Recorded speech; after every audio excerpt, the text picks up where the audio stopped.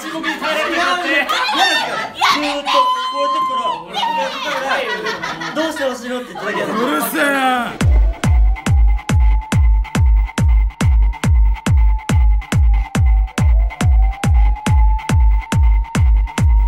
確かにやったよ。久しぶりねガイラス。冷酷無比で超残虐な連続殺人鬼だ。ガイラスが再び立ち上がろうとしている。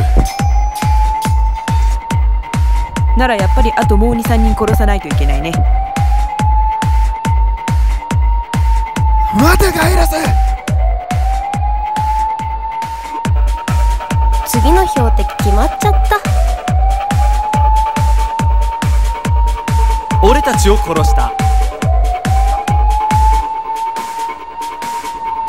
私には見えないの？